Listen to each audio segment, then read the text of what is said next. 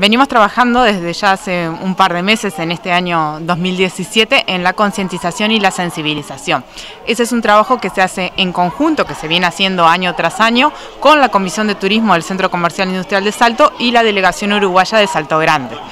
Eh, en este caso eh, se hicieron visitas eh, a la Escuela de Belén, de Constitución, a la Escuela 120 de la ciudad de Salto y desde la Oficina de Turismo se abarca este, tanto educación primaria como educación secundaria con distintos talleres que tienen que ver con el rol de cada uno de nosotros este, con respecto al turismo, bueno, cómo ser buenos anfitriones, cuáles son nuestros atractivos turísticos y bueno, en ese sentido se tiene una colaboración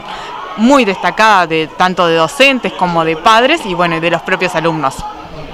Eh, premiación importante, varios, varios chicos contentos aquí. Sí, eh, para finalizar este proceso eh, decidimos hacer un concurso fotográfico donde este, a través de la fanpage de turismo eh, se votaron las mejores fotos y bueno, se hizo una selección este, y los chicos van a poder disfrutar de Termas del Arapay, Termas del Daimán, del Parque de Salto Grande también. Acá el objetivo es, bueno, ellos aprendieron mucho del turismo para ofrecer a quienes nos visitan, pero la idea es que ellos por un día también sean turistas, entonces que a través de esa experiencia disfruten este, también de los atractivos que tenemos.